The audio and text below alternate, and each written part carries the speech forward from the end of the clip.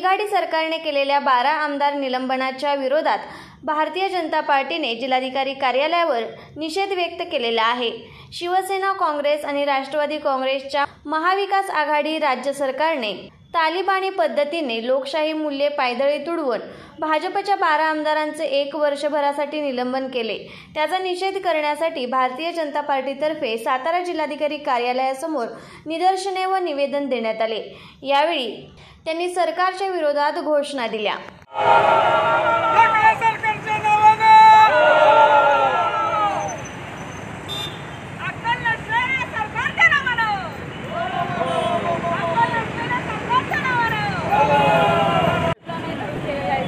या त्रिवेदी सरकारनं डाव करून भारतीय जनता पार्टीने बारा आमदार निलंबित केले. त्याचा आम्ही या ठिकाणी आज निषेध करतोय.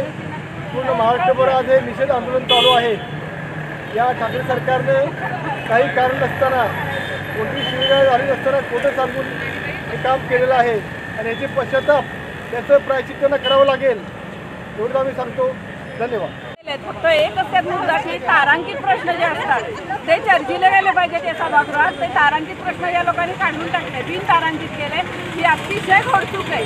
आणि अशा पद्धतीने जर कामकाज चालत असेल तर या सरकारनं आता घरी जावं. त्यांना काही हे जमतंय असं मला वाटत नाहीये. काल म्हणजे, भारतीय जनता पार्टीच्या बारा आमदारांना निलंबन केलेलं आहे. फक्त ओबीसी आरक्षणाला कायदा माहीत नसल्यामुळे किंवा जे केंद्र शासनाने जे काही नियम केले होते त्याच्यासाठी जे विषय मांडत होते बा आमचे आमदार सगळेच भारतीय जनता पार्टीचे आमचे दे विरोधी पक्षनेते देवेंद्र फडणवीस यांनी जो मुद्दा मांडलेला होता तो काही ऐकून न घेता त्याला विरोध दर्शवणारे किंवा तो पास न करता त्या ज्या आमदारांना जे बालंट आणलेलं आहे तर ह्याचा मी खरं भारतीय जनता पार्टीच्या वतीने धिक्कार करते.